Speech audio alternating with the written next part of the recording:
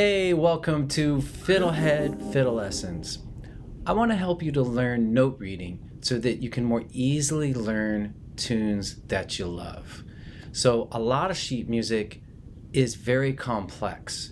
What I'm going to teach you today is how to, to remove the complexity and make it more simple. So, the first thing you can do is to remove as much embellishment and expression markings as possible. So this means removing any slurs, any double stops, any rolls like those Irish squiggles, any slides, any volume markings like piano or forte or crescendo. I want you to kind of pencil, cross that out and focus on just the core melody at first. You learn that melody really well, and then later we can go and add all this fun stuff back. But if you get bogged down in that, too soon, you may just be like, oh, I don't like this tune. And I don't want that to happen. I want you to succeed with just learning a basic melody. And, and then, so let's actually do it. But I want to say one more thing, which is that if you learn to take stuff away, you'll see that you, you learn the creative power of fiddle tunes because then you'll see how you can put it back instead of just starting with the final version, which is a variation. So let's take a look at Swallowtail Jig. We're going to look at a version that has variation. That's a tune we'll get to later. So here's a ver version with variation built in. I'm just going to go ahead and play the A part as written.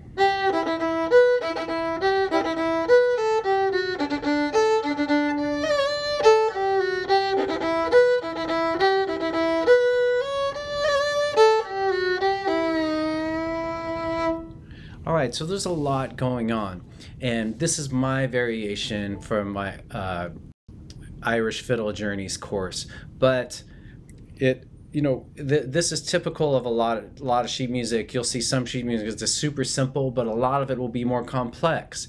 And so a lot of beginners are kind of like, well, what do I do with this? So what you can basically do, I'm going to first kind of with the mouse show you what I'm going to remove. I'm going to remove these 16th note duplets.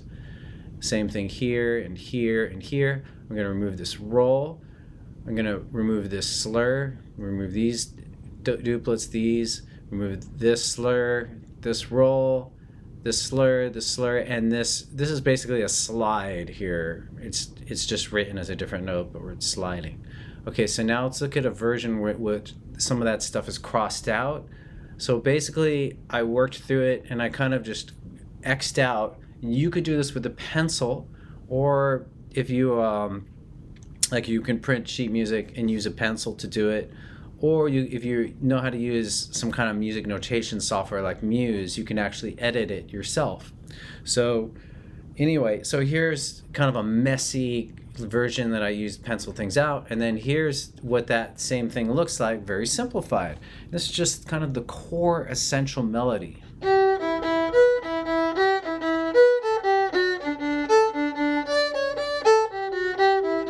And so what you then do is now that you've got that essential melody, you learn it really well, learn it from memory, be able to hear it in your head, which is audiation. And once you have kind of a deep feeling for it, then you can go back and look at that very those weird variation ideas and maybe add one at a time. Maybe you add that 16th note duplet. But nothing else.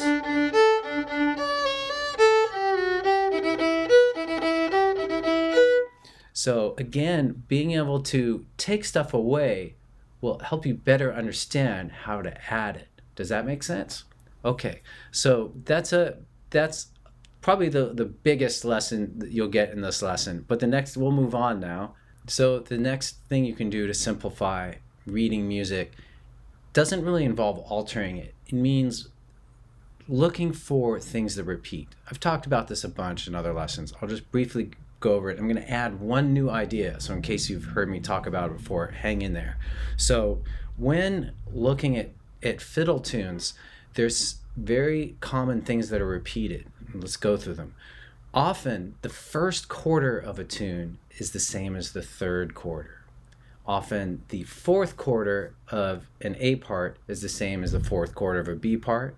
and often the second half of an A part is the second half of B part. So if you are reading music and you know those three things, you can easily start to pick things out. Is this you can immediately like let's say you learn the first quarter of something you can immediately ask yourself is it the same as the third quarter? Go look. And if it is it's like yes my job is easier. You start to feel confident. You can you're going to get this tune. So let's look at a couple examples. So let's look at Kerry Polka an example i've used a ton but anyhow so the first quarter the first two bars is also the third quarter so I'll just play it to make it clear, but first quarter. Then we have the second quarter. Third quarter is the same as the first. So that's an example there. And then often the, the other big pattern, so sheet music's reading sheet music is a lot about noticing patterns. Your brain does it automatically if you let it. All right. So my big message is to allow your brain to just pick up on the patterns and and don't focus so much on the rules all right so the uh, fourth quarter of the a part is and then if you look at the sheet music it's also the fourth quarter of the b part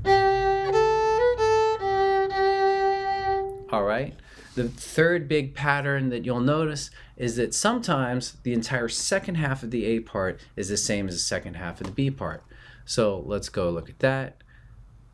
And here we have Tobin's jig, and the second half of the A part is.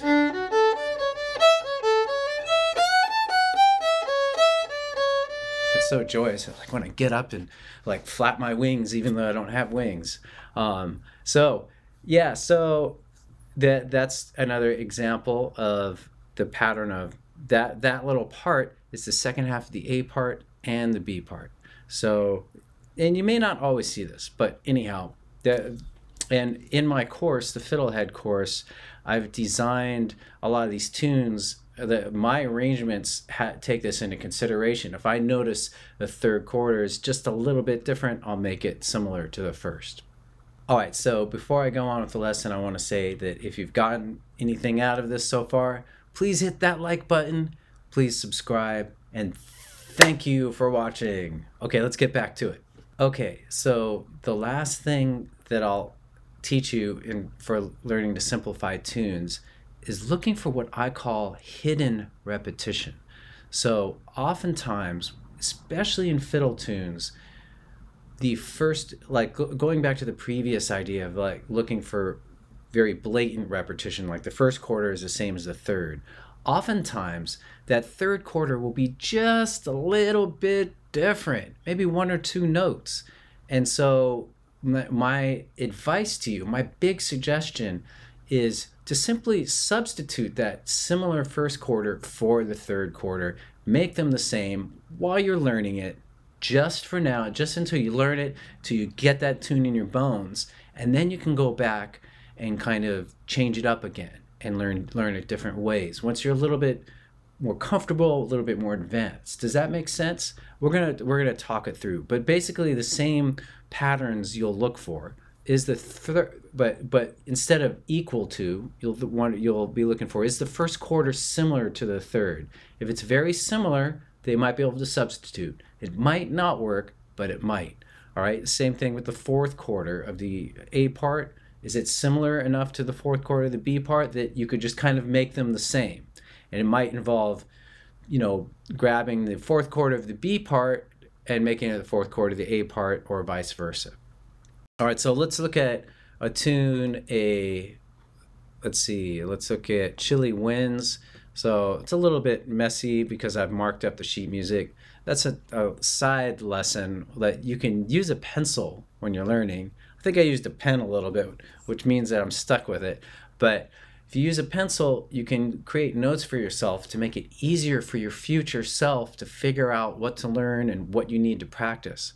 So anyway, we'll, I'll get talk more about using a pencil in another lesson on note reading tips. So Here's a here's a tune called Chilly Winds, and the first quarter is.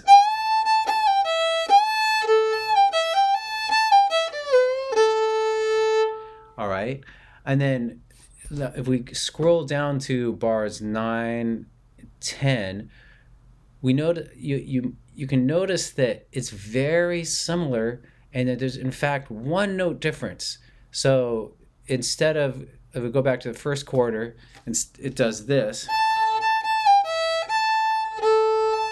Goes down to an A.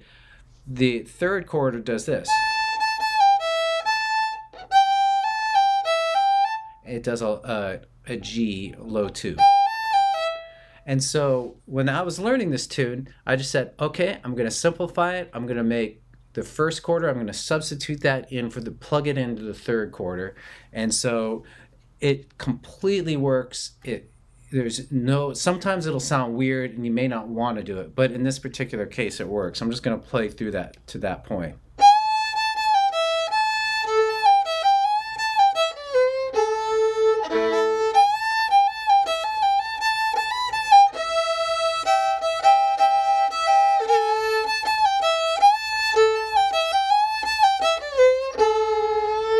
It totally works. So that's just an example of finding hidden repetition. I probably could have picked an easier example, but I was feeling lazy today and that just was one I was playing recently. So I want to close out the lesson by just saying that this simplification process actually leads to creativity. Some people may listen to what I'm saying and say, oh, you're just making the tune more boring. It used to be so interesting and you're just flattening it and making it this boring thing.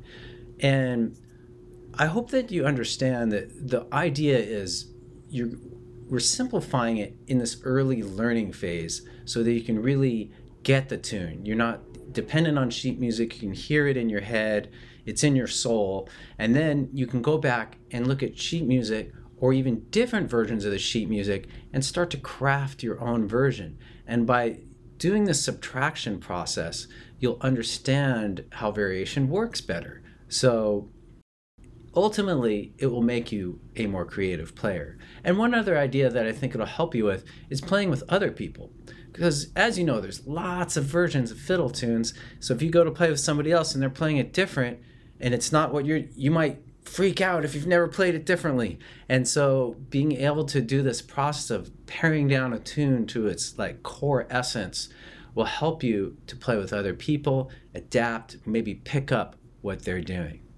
Anyway, I hope that this was helpful. It was fun for me to teach it to you because I love this kind of stuff. This is what I live for. Is just like the playing with music and playing with creativity, being creative within certain bounds. You, know, you have this tune, there's a lot of boundaries, but you can do all this cool stuff within it. So if it was useful to you, please send a message, leave a comment, whatever, let me know. And thanks for watching. FiddleHed. See you soon. Go to fiddlehed.com for a progressive step by step course outline, color coded tabs, play along tracks, sheet music, and much more. Thanks for watching the video Excellent! And don't forget to subscribe. Thanks.